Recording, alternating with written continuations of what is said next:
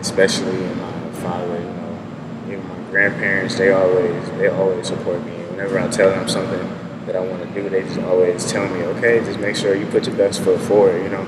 And it's always very important to have people like that because it always makes you know that okay, whatever you want to do, you need to do it the right way, you know. And you need to do it in a very good way as well, you know. Like every time, period. You know, like anything you do, when you wake up it's all up to you to do your best in whatever it is you do. You know, do it the most efficiently the, best you can.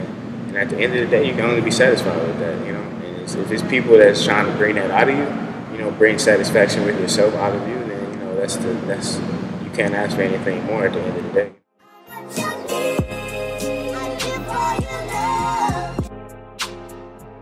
Even if you have a lot of light on you, uh, your team has to be able to branch that and put that in the right areas. You know what I'm saying? Mm-hmm. Or like even beyond just the people that help you make you better, it, they make you better subconsciously as well because you see your friends or you know just someone you look up to, a mentor. You know, um, you look up to them, you see them doing so many different good things, and it automatically just makes you okay. I see them doing this, so what am I going to do to make you know what I'm saying myself a better person? versus you know what am I going to do to make more money with anything just period it's not even truly about the money it's just about you know like being a better person and better for the people around you you know and choosing those people around you is so important because without that then you know it's only going to bring negative things to you this week dangerous live stream roamed the streets of detroit and finally caught up with designer Aylwin owens founder of forever brand Still a work in progress, Owen shares with us how the Forever brand legacy began and what the future entails for his company, in addition to a special invitation to an evening of art. Remaining relevant in the fashion community, Owens often features a new design to overlay exclusively released lines. But the heart of Forever brand will always include his original logo portraying the musical symbols of a treble clef and bass clef, engulfing what is the Japanese character for the English word forever. This to Owen shows the love and positivity of diversity bringing something new and hip to the Detroit scene. Me and my friends, we all just always had our own sense of style and stuff. So uh, one of my friends, he actually started his own clothing line, I saw what he was doing. You know what I'm saying? And I also like always like Japanese in their own style. You know, and I feel like I could bring something different to the city. A lot of people always copy each other in their style and things like that, and I just wanted to bring my own sense. At the same time, bring a positive light and bring uh, something that could create opportunities for the people around me and stuff. So uh, yeah, that's basically what it is. Forever brand is just uh, I don't know. I say forever because uh, your legacy lives forever, what you leave behind, no matter when you die. You know what I'm saying? Or like say something was to fail, what you did and what you brought about from that is always going to uh, be a part of your life, if not anybody else's. You know, especially if you're trying to bring positive light to a lot of different things. That's what Forever Brand is all about. The journey for Owens began with a small step at first. Branding through t shirts at his then testing grounds, Cass Technical High School, he soon saw his marketing potential and began stamping his prints on a variety of products.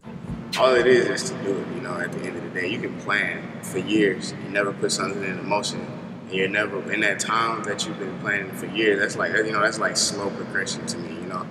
And slow progression is still progression, but you want to get something started and get something progressed as much as possible. Like t-shirts, five years from now is only going to be something that comes every once in a while. You know, like I'm right now, I'm working on things that aren't t-shirts anymore. You know, like shorts and pants and jackets, windbreakers. You know, hats, all kind of different things. You know.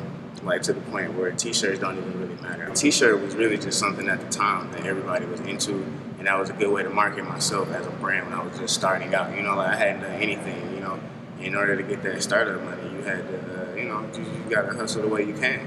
So t-shirts at the time in high school, you know, like everybody was buying t-shirts for the new J's and the new gym shoes and stuff like that. And my logo just so happened like you know the colorways and like a lot of the different Jordan colorways. It was just something to start from. You know what I'm saying?